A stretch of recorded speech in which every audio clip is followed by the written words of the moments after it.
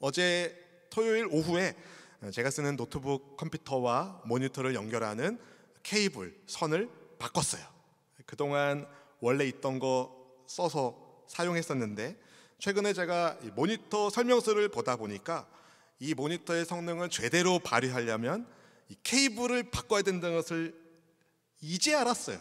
그래서 쿠땡에 주문해서 어제 받아서 연결을 딱 해봤는데 아 연결하고 나니까 모니터 화질이 굉장히 좋아진 거예요. 선 하나만 바꿨는데 그 선 하나가 얼마나 중요한지를 생각하면서 저는 하나님과 우리 사이를 이어주시는 분이 최고의 예수님이라는 사실이 너무나도 고마웠습니다. 사랑하는 성도들, 우리 예수님은 어떤 분이신가요? 우리의 큰 대제사장이신 예수님을 의지하여 우리는 때를 따라 돕는 은혜를 얻기 위하여 지금 이 순간 은혜 보좌 앞에 나왔습니다. 바른 예배 가운데 우리 하나님을 만나 뵙고 영과 진리로 예배하는 자를 찾으시는 하나님을 만나셔서 말씀 중에 기도 중에 찬송 중에 임재하신 주님의 임재 속에서 여러분 성경을 보십시오. 하나님 만난 사람은 다 회복하게 되었어요. 은혜를 입었어요. 주님은 우리에게 은혜 베풀기 원하시고 평강 주기를 원하시고 복 주기를 원하시고 지켜 주기를 원하시는 좋으신 하나님이십니다. 그분의 임재를 사모하며 우리 함께 임재라는 찬양 올려드리겠습니다. 하늘의 문을 여소서 하늘의 문을 여소서 이곳을 주목하소서 주를 향한 노래가 꺼지지 않으니. 하늘을 열고 보소서. 이곳에 임재하소서. 주님을 기다립니다. 기도의 향기가 하늘에 닿으니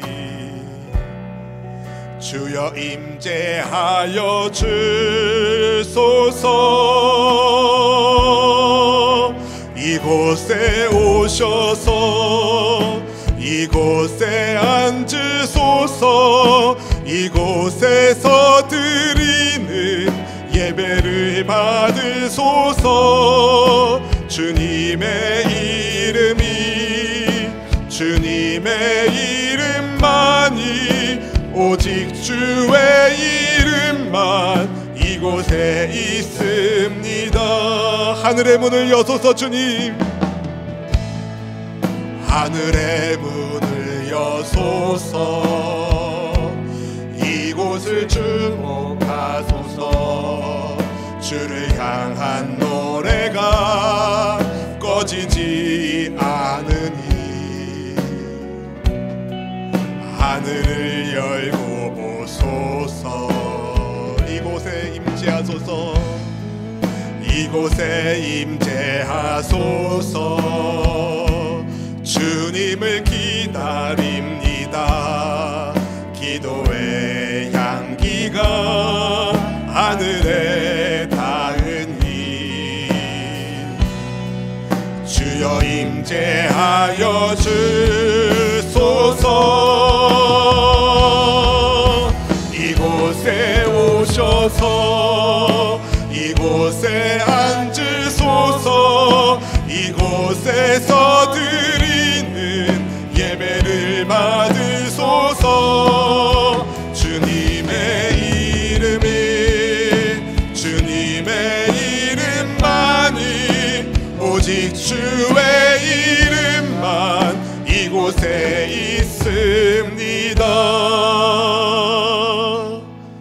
주의 이름 모인 이곳에 우리 주님 함께하고 계심을 감사하며 주의 임재를 사모하며 주의 얼굴을 뵙기를 소망하는 주의 백성들에게 하나님 그 얼굴 빛을 비추어 주셔서 인생의 모든 어둠이 물러가게 하여 주시고 생명의 역사를 누리게 하여 주옵소서. 이 시간 성령 하나님 온 마음 다해 환영하며 인정하며 모셔드리오니 각 사람의 심령 가운데 충만하게 임재하여 주셔서 하나님과 함께하는 삶의 모든 여정이 감사의 기쁨으로 채워지게 하여 주시옵소서. 주님 부족한 이 종의 입술을 성령 하나님이 붙잡아 주시고 생명의 하나님 말씀이 온전히 증거되게 하여 주셔서 말씀 중에 임하시는 하나님의 영광이 우리 삶을 새롭게 하는 복 있는 기적의 역사 되게 하여 주시옵소서. 피곤한 몸과 마음 세임 주시고 아픈 몸을 치료하여 주시고 환경의 풍편함을 하나님의 풍성한 것으로 바꿔 주시는 우리 하나님이 나의 하나님 것을 믿는 마음으로 믿음으로 나왔사오니 은혜 보좌 앞에서 주의 은혜를 충분히 충만히 받게 하여 주시옵소서. 모든 상황 속에서 우리를 붙잡아 주시는 좋으신 예수님 이름 붙들고 간절히 기도드리옵나이다. 아멘. 요즘 제가 많이 생각하는 표현이 있습니다. 제자 훈련하면서도 더 많이 그것들을 생각하고 있는데요. 예수님의 죽음, 내 죽음, 예수님 부활, 내 부활, 예수님 보자, 내 보자. 한번 따라해 보실까요? 예수님 죽음, 내 죽음. 예수님 부활, 내 부활. 예수님 보자, 내 보자. 여러분 믿음으로 선포하면 하나님의 역사를 체험하게 됩니다. 여러분 예수님의 죽음이 내 죽음입니다. 죄인이었던 내가 예수님께서 십자가에서 죽으셨을 때에 함께 예수님과 더불어 죽었기 때문입니다. 그리고 예수님의 부활이 나의 부활입니다. 사망 권세 이기고 다시 살아나신 예수님이 내 부활을 증거하는 부활의 첫 번째 열매 되시기 때문입니다. 그리고 예수님의 보좌가 그 영광의 하늘 보좌가 여러분 나의 보좌입니다. 왜 그럴까요? 예수님이 내 안에 내가 예수님 안에 거하기 때문입니다. 우리가 어떻게 예수님과 이렇게 하나 되어 연합하여 살게 되었을까요? 바로 죄인인 나를 위하여 우리 예수 그리스도께서 영원한 속죄를 이루어 주셨기 때문입니다. 여러분 큰 대제사장신 예수님은 우리의 연약함을 몸으로 직접 겪으시고 공감하시는 채우라는 분으로서 우리를 은혜 보좌 앞으로 나아가도록 생명의 길을 열어주신 유일하신 그리스도이십니다. 할렐루야. 유일하신 예수님 때문에 우리가 은혜 보좌 앞에 나아가는 거잖아요. 그러면서 히브리서 기자는요, 거기에 덧붙여서 8장에서 예수님께서 더 아름다운 직분을 얻으신 더 좋은 약속을 세우시는 더 좋은 언약의 중보자이심을 밝힙니다. 히브리서 8장 6절 말씀을 같이 읽어보겠습니다. 그러나 이제 그는 더 아름다운 직분을 얻으셨으니 그는 더 좋은 약속으로 세우신 더 좋은 언약의 중보자시라. 아멘. 더 아름다운 직분, 더 좋은 약속, 더 좋은 언약이라는 표현은 예수님을 통해서 맺어지는 새 언약이 있다는 것을 보여주는 말씀인데요. 첫 번째 언약, 그러니까 구약의 옛 언약이 완전했다면 새 언약을 맺을 필요가 없었을 겁니다. 그러나 옛 언약에는 한계가 있었어요.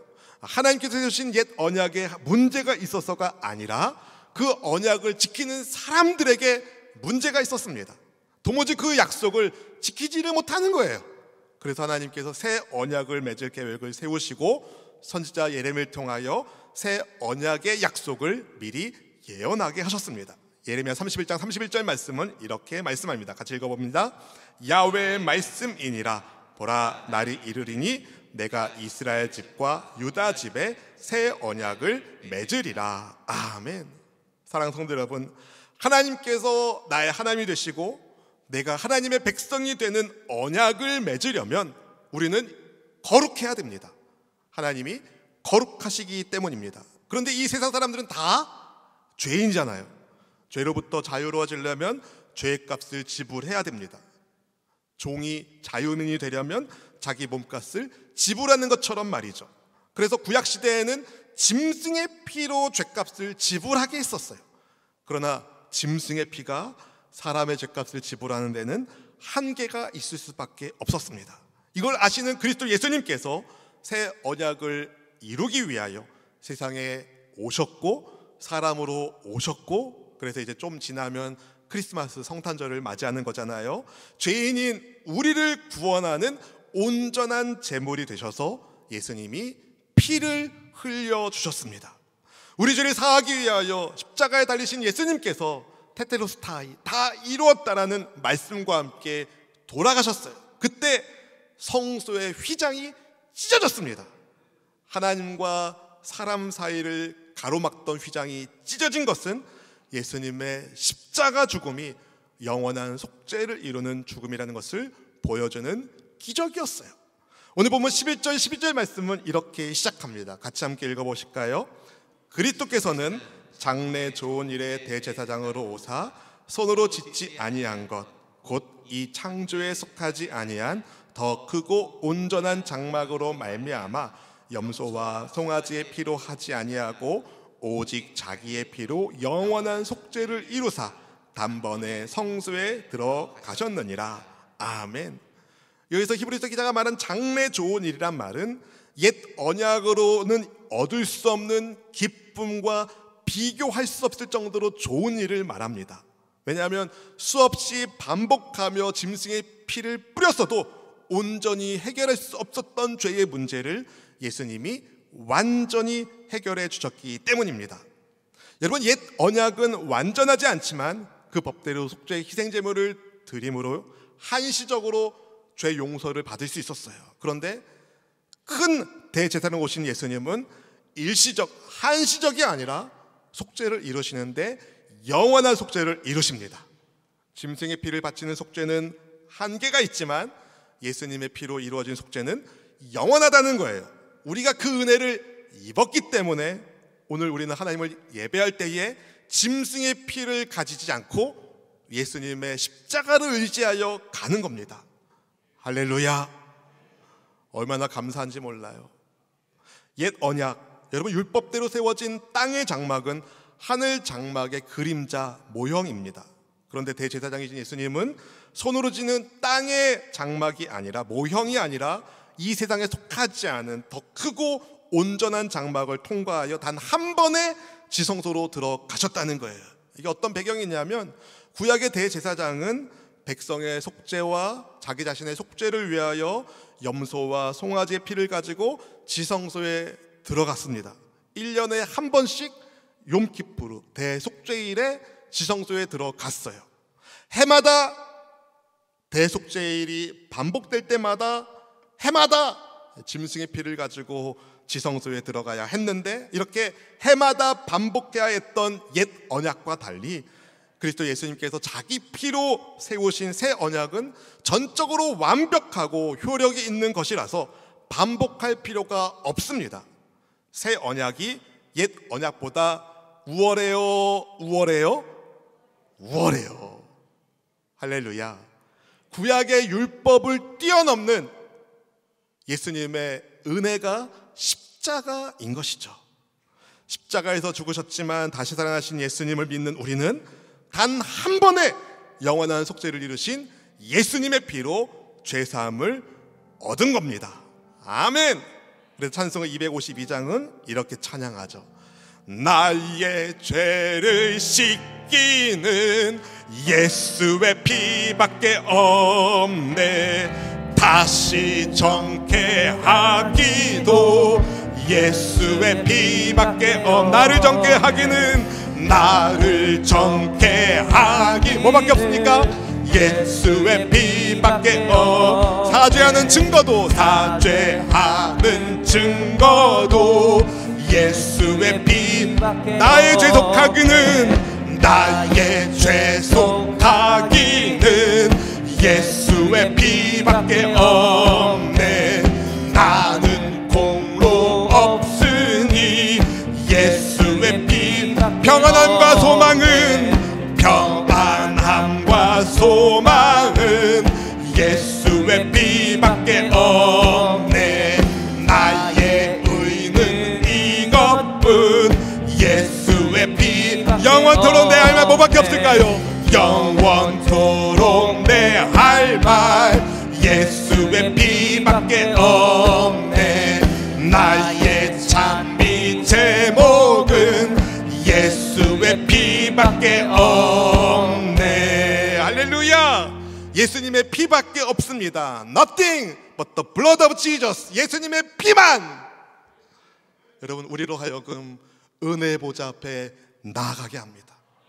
그분의 영원한 속죄의 은총을 우리가 입은 거예요. 그래서 우리는 더 이상 하나님께 예배하기 위하여 염소나 짐승, 송아지의 피를 필요로 하지 않습니다. 레위기 16장 11절 이하에 보면은요. 이스라엘 자손의 부정함과 그들이 범한 모든 죄를 속죄하기 위해서 대제사장은 먼저 자기 자신을 위하여 속죄제의 수송아지를 드린 다음에 그 피를 규정에 따라 뿌려야 했습니다. 그리고 백성을 위한 속죄 제물로 바친 염소를 잡아서 그 피를 휘장 안으로 들어가서 수수의 피를 뿌린 것처럼 뿌려야 했어요. 그렇게 성소를 깨끗하게 했습니다. 왜냐하면 이스라엘 자손이 부정하고 그들이 죄를 지었기 때문에 성소마저 부정했기 때문입니다. 민수기 19장 9절 이하를 보면 암송아지의 죄는요 부정한 사람의 부정을 씻기 위하여 사용되었습니다. 그런데 진정한 정결은 이런 짐승의 피가 아니라 그리스도 예수님의 피로 이루어집니다. 오늘 보면 13절 14절 말씀을 같이 읽어보시겠습니다. 염소와 황소의 피와 및 암송아지의 죄를 부정한 자에게 뿌려 그 육체를 정결하게 하여 거룩하게 하거든 하물며 영원하신 성령으로 말미암아 흠 없는 자기를 하나님께 드린 그리스도의 피가 어찌 너희 양심을 죽은 행실에서 깨끗하게 하고 살아계신 하나님을 섬기게 하지 못하겠느냐 아멘 여러분 아담과 하와가 하나님이 금하신 일을 행함으로 인하여 말씀에 불순종함으로 세상에 죄가 들어왔지 않습니까? 그 죄는 사람들의 양심을 오염시킵니다. 그래도 양심이 오염됐기 때문에 모든 사람이 다 죄인인 거예요. 사람들이 죄를 짓는 이유는요. 그들 안에 있는 양심이 바르게 작동하지 않기 때문인 겁니다. 오염된 양심은 염소나 황소의 피, 암송아지의 재로는 깨끗하게 씻을 수가 없는 거예요. 단지 짐승의 피는 외형을 육체를 깨끗하게 할 뿐입니다. 그런데 죄 없으신 예수님은 예수님의 피는 양심을 깨끗하게 한다는 거예요. 영원하신 성령으로 인하여 흠 없는 자신을 하나님께 드린 예수님의 그 피가 우리의 양심을 깨끗하게 하고 죽은 행실에서 죄의 행실에서 떠나서 살아계신 하나님을 섬기게 합니다. 따라서 여러분 죄를 회개하고 예수님을 주님으로 믿는데 양심이 더럽다? 있을 수 없는 말입니다. 그리고 죄를 회개하고 예수님을 믿어서 양심이 깨끗해졌는데 살아계신 하나님을 섬기지 않는다? 이것도 있을 수 없는 말이에요. 왜냐하면 예수님의 피로 죄사함의 은혜를 입은 성도는 양심이 깨끗해진 사람으로서 하나님을 온전히 예배하는 섬김의 사람이 되기 때문입니다. 예수님께서 자기 피로 세우신 새 언약은요. 옛 언약이 불완전하게 줄 수 있었던 죄 용서를 완전하게 이룹니다. 보면 15절 말씀을 같이 읽어봅니다. 이로 말미암아 그는 새 언약의 중보자시니 이는 첫 언약 때에 범한 죄에서 속량하려고 주구사 부르심을 입은 자로 하여금 영원한 기업의 약속을 얻게 하려 하심이라. 아멘. 여러분 구약에서는 언약의 당사자 대신에 짐승이 대신 죽었지만 새 언약의 중보자이신 예수님은 직접 피를 흘리셨어요. 새 언약의 중보자이신 예수님께서 피 흘려 주시는 은혜를 베풀어 주셨기 때문에 우리가 영원한 천국의 기업 약속을 얻게 된 겁니다. 예수님께서 십자가에 못 박혀 죽으셨을 때 주님은 그냥 죽으신 것이 아니라 내 죄를 짊어지고 죽으신 거예요. 내가 죽어야 하는 그 자리에서 예수님이 죽으셨을 때 그때 나도 죽은 겁니다. 예수님의 죽음은 옛 죄인인 나의 죽음이라는 말이에요. 죄로 오염된 자가 죽은 겁니다. 지금 내가 호흡하면서 살고 있는 것은 나 혼자 사는 게 아니라 부활하신 예수님 그 은혜 안에서 내가 살고 있는 거예요. 예수님과 하나이란 하나 된 삶을 산다는 말씀이에요. 이것을 알았던 바울이 갈라디아서 2장 20절에서 이렇게 말씀을 기록하죠. 함께 읽어보겠습니다. 내가 그리스도와 함께 십자가에 못 박혔나니 그런즉 이제는 내가 사는 것이 아니요 오직 내 안에 그리스도께서 사시는 것이라.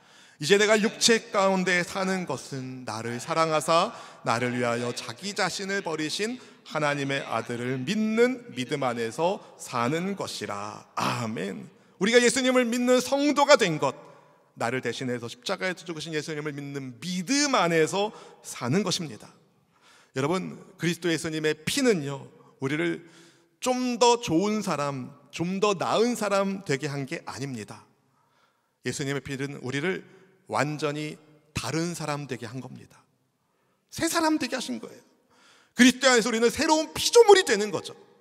조금 더 나은 사람이 아니라 새로운 피조물이 되는 거예요. 살아계신 하나님을 거룩하게 섬기는 거룩한 백성이 되게 하시는 거죠. 양심이 깨끗하고 살아계신 하나님을 온전히 섬기도록 예수님께서 주님의 피로 새 언약을 세우신 거예요. 이 언약이라는 단어가 여러분 헬라어 단어가 유언이라는 뜻도 있어요. 그래서 히브리서 기자가 이 언약과 유언을 연계해서 설명하기 시작합니다. 예수님의 피가 어떻게 효력이 있는지를 설명하는데 유언의 효력을 논하려면 일단 유언한 사람이 세상을 떠나야 돼요. 유언장이 효력을 발휘하려면 유언하신 분이 세상을 떠나야 돼요. 당연하죠? 보면 16절 17절 말씀 읽어 보실까요? 유언은 유언한 자가 죽어야 되나니 유언은 그 사람이 죽은 후에야 유효한즉 유언한 자가 살아 있는 동안에는 효력이 없느니라. 여러분 유언장이 효력을 발휘하려면 유언하신 그분이 돌아가셔야 되는 거예요. 죽어야 효력 있는 유언처럼 구약의 제사에서 짐승의 희생이 필요한 까닭은 죽어야 효력을 발휘하기 때문에 다시 말해 피 흘림이 없이는 죄 사함의 은혜를 입을 수 없기 때문입니다. 그래서 첫 언약 구약의 옛 언약도 피 없이 세우지 않았다는 거예요. 본문 22절 말씀 같이 읽어봅니다. 율법을 따라 거의 모든 물건이 피로써 정결하게 되나니 피 흘림이 없은 즉 사함이 없느니라. 아멘. 율법에 따라 거의 모든 것이 피로 깨끗해집니다. 그런데 짐승의 격과 사람의 격은 너무 다른 거예요. 하나님께서 하나님의 형상으로 사람을 지으셨잖아요. 그래서 짐승의 피로 사람의 죄를 씻는 데는 한계가 있을 수밖에 없는 거예요. 그래서 죄 지을 때마다 짐승을 바쳤고 해마다 그 일을 반복했던 거예요. 완전하지 않았기 때문에 이걸 아시는 예수님이 자원하셔서 십자가 지시려고 이 땅에 오셨습니다. 그리고 십자가 위에서 자기 몸을 바치시죠. 피를 쏟으셨어요. 한 방울도 남김없이 쏟으셨어요. 흠없이 자기를 드리신 예수님의 그 십자가 사랑 때문에 우리가 흠없이 하나님을 예배하는 새 사람으로 born again 거듭난 겁니다. 새로운 사람이 된 겁니다. 사랑 성도 여러분, 영원한 속죄를 이루신 예수님을 믿으십니까? 믿으십니까? 그렇다면 여러분 양심적인 그리스도인으로 살고 계십니까? 왜 아멘 안 하시는 거예요? 똑같이 아멘 하셔야죠. 예수님의 피로 우리의 죽은 양심이 새롭게 빚어졌는데 왜 양심대로 살지 않죠? 그건 뭔가 이상한 겁니다. 여러분 그리스도의 피로 우리가 새 사람을 되었다면 영원한 속죄를 받았다면 우리는 양심적인 크리스찬으로 살아야 합니다. 그게 당연한 거예요, 여러분. 당연한 거예요. 예수님 믿는데 양심대로 양심적이지 않다. 있을 수 없는 얘기예요. 예수님 믿으면 양심적으로 살 수밖에 없어요. 영원한 속죄를 이루신 예수님께서 우리의 죽은 행실을 하나님을 경외하는 사람 되도록 우리의 양심을 새롭게 만드시기 때문입니다. 아, 저 사람은 교회 다니는데 양심에 털난 것 같아. 그럴 수 있다 없다? 없다고요. 여러분, 예수님 믿기 전에 우리는 양심에 문제가 많았습니다. 생각하는 거, 마음으로 품는 거, 행하는 그 모든 것들이 주님 보시기에 탄식할 만한 죄덩어리였어요. 오염덩어리였어요. 그런 우리를 근데 예수님이 찾아와 주셨고 보혈의 피로 깨끗하게 씻어 주셨어요. 생명을 아끼지 않고 주시는 그 사랑 때문에 우리의 모든 죄가 속죄 받았고 구원의 기쁨을 노래하는 예배자가 된 겁니다. 영원한 기업을 약속으로 주셨어요. 살아계신 하나님이 그래서 나의 하나님이 되시고 나는 하나님의 자녀가 되는 복을 받았습니다. 우리가 예수님 안에 예수님이 내 안에 있는 거예요. 할렐루야.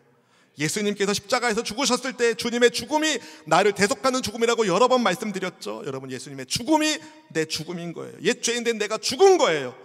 여러분 죽어야 하는데 죽지 못해서 문제다. 그게 아닌 거예요. 죽었어요. 옛 죄인된 나는 죽었어요. 지금 내가 사는 것은 내가 사는 게 아니라 다시 살아나신 예수님이 나와 함께 하시기에 그 부활의 은혜로 내가 사는 거예요.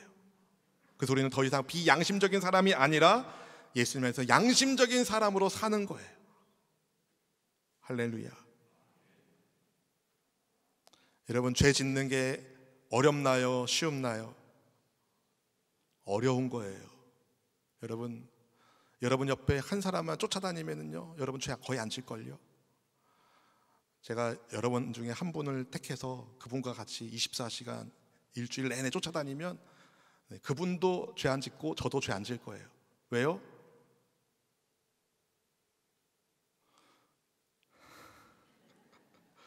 두 눈 시퍼렇게 뜨고 서로 지켜보는 거죠. 죄 짓나 안 짓나. 네? 지켜보고 있는 거죠. 막 뭔가 나쁜 말 때 레드 카드 하면 안 되잖아요. 한 사람만 내 옆에 있어도 죄 못 짓는데 여러분 예수님이 내 안에 내가 예수님 안에 어떻게 죄 졌죠? 사랑하는 여러분 비양심적인 크리스찬이 아니라 양심적인 크리스찬이 하나님의 뜻입니다. 진짜 하나님을 섬기는 예배자로 살 수 있는 방법 가짜 예배자가 아니라 진짜 하나님을 예배하는 예배자로 살 수 있는 방법은요 영원한 속죄를 이루신 예수님 안에 있을 때 되는 거예요. 여러분 하나님을 섬기다라고 표현했던 히브리서 말씀의 그 섬기다라는 표현이 사실은 예배 의식을 포함하는 단어입니다. 진짜 우리가 하나님을 예배하는 예배자로 산다는 것은 하나님을 온전히 섬긴다는 것인데 그 온전한 섬김은 예수님의 피로 이루어지는 것이고 예수님의 피로 영원한 속죄를 받은 크리스찬이 선한 양심으로 하나님을 예배하는 것, 하나님을 섬기는 것, 그 자체가 하나님을 예배하는 삶이라는 거예요. 찬송가 258장에 여러분 샘물과 같은 보혈이라는 찬양이 있는데요. 이 찬송 시를 쓴 작사가가 윌리엄 쿠퍼인데 영국 태생으로 성직자인 아버지와 왕족 출신 어머니 사이에서 태어났어요. 근데 태어날 때부터 몸이 허약했어요. 성격도 소심했어요. 그래서 사회생활을 제대로 하지 못했습니다. 여섯 살에 엄마가 돌아가셔가지고 상처를 크게 받았어요. 약한 체질로 늘 아프고 육체적인 고통이 심하고 또 우울증 때문에 정신적으로도 많이 괴로웠어요. 나처럼 못난 사람은 하나님도 구원 안 해줄 거야. 이런 생각에 빠졌어요. 공포 가운데 수차례 자살 시도도 하고요. 정신병원의 신세를 여러 차례 겪었습니다. 그럼에도 불구하고 그가 붙들고 있었던 것이 있었어요. 성경을 붙들고 있었어요. 그래서 어느 날 성경을 보다가 로마서 8장, 로마서 3장 23장 23절에서 25절까지의 말씀이 눈에 확 들어온 겁니다. 같이 함께 읽어 보겠습니다. 모든 사람이 죄를 범하였음에 하나님의 영광에 이르지 못하더니 그리스도 예수 안에 있는 속량으로 말미암아 하나님의 은혜로 값없이 의롭다 하심을 얻은 자 되었느니라. 이 예수를 하나님이 그의 피로써 믿음으로 말미암는 화목 제물로 세우셨으니 이는 하나님께서 길이 참으시는 중에 전에 지은 죄를 간과하심으로 자기의 의로우심을 나타내려 하심이니 아멘. 하나님께서 윌리엄 쿠퍼에게 알려주시는 거예요. 모두가 죄인이다. 화목제물 대신은 예수님의 피 없이는 모두가 죄인이다. 근데 예수님의 피 은혜를 입은 사람은 누구나 의롭다 하심을 값없이 얻게 된다. 왜냐하면 그 값을 예수님 피로 지불해 주셨기 때문에 그렇게 예수님을 구주로 영접하게 된 그는요 하나님의 은혜에 이끌려서 후에 스가랴 13장 1절 말씀을 보다가 죄와 더러움을 씻는 샘이 열리게 될 거라는 말씀을 보다가 그리스도의 피가 그의 심령을 두들기는 은혜 사건을 체험하게 됩니다. 그러면서 주 보혈의 은혜를 글로 시로 쓰게 되었어요. 이게 샘물과 같은 보혈의 찬송의 가사입니다. 읽어드릴게요. 샘물과 같은 보혈은 주님의 피로다. 보혈의 죄 쓰시면 정하게 되겠네. 저 도적 회개하고서 보혈에 씻었네. 저 도적 같은 이 몸도 죄 씻기 원하네. 죄 속함 받은 백성은 영생을 얻겠네. 샘 솟듯 하는 피권세 한없이 크도다. 날 정케 하신 피보니 그 사랑 한없네. 살 동안 받는 사랑을 늘 찬송하겠네. 이후에 천국 올라가 더 좋은 노래로 날 구속하신 은혜를 늘 찬송하겠네. 이거 영어 가사로 보면 이제 첫 대목이 이래요. There is a fountain filled with blood. 한 샘이 있는데 보혈로 가득 찬 샘이 있습니다. 여러분, 예수님이 피 흘리신 그 은혜로 우리가 구원의 은총을 받은 거예요. 할렐루야. 영원한 속죄를 받은 하나님의 백성으로서 피 흘리신 예수님의 사랑을 잊지 마시고 여러분 깨끗한 양심으로 여러분 깨끗한 양심으로 죽은 행실에서 떠나 살아계신 하나님을 온전히 예배하는 저 여러분 될 수 있기를 축복합니다. 2023년 한 달 남았잖아요. 올 한 해 여러분 얼마나 양심적으로 사셨나요?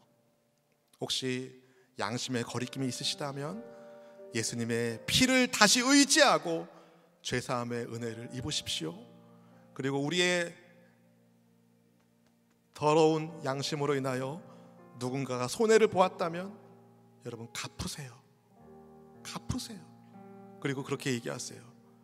예수님의 피로 내 양심이 새로워져서 당신에게 이렇게 갚습니다. 그것이 살아계신 하나님을 온전히 섬기는 예배입니다. 그게 예배인 거예요. 여러분 이 땅에 우리를 위하여 대속하신 예수님의 그 피를 단순히 더러워진 내 몸을 씻는 것으로만 쓰지 마시고 우리를 완전히 새로운 피조물 되게 하시는 하나님의 은혜라는 사실을 기억하시고 예수님의 피 보혈을 의지하여 매일의 삶을 거룩하게 아름답게 사는 우리 모두가 될 수 있기를 주님의 이름으로 축원드립니다. 함께 찬양하겠습니다. 샘물 과 같은 보혈은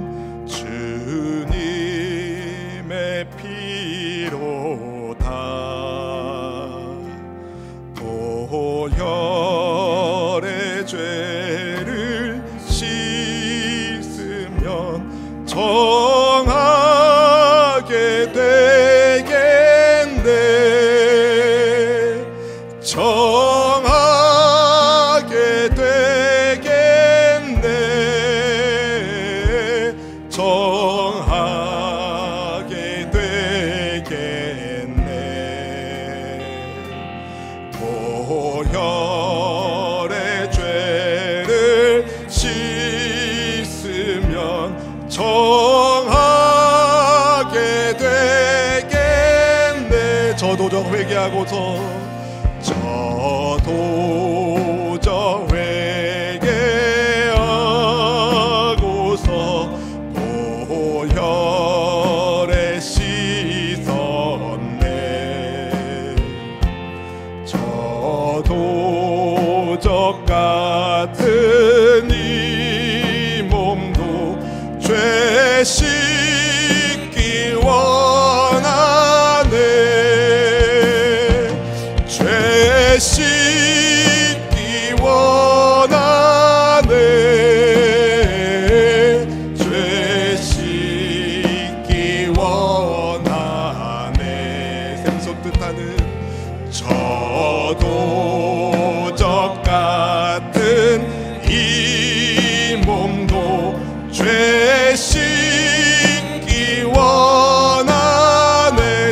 받은 백성은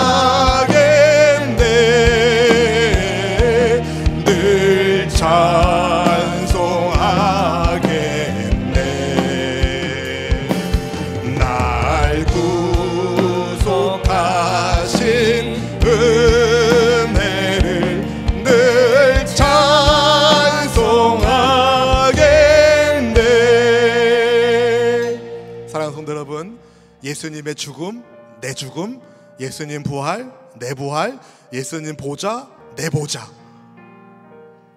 예수님의 속죄하시는 그 피의 은혜를 입어 우리의 죽은 양심이 새롭게 빚어졌고 살아계신 하나님을 온전히 섬기는 속죄함 받은 하나님의 자녀가 되었으니 여러분 그 은혜를 헛되이 받지 않기를 원합니다. 주님 선한 양심으로 새로운 피조물답게 하나님을 예배하는 예배자의 삶을 살기를 원합니다. 이것은 힘으로 등으로 되지 않냐고 오직 성령으로만 됩니다. 우리에게 성령 충만함을 하나님 허락하여 주시옵소서. 우리 합심하여 주여 세 번으로 짓고 간절한 마음으로 기도하겠습니다. 주여!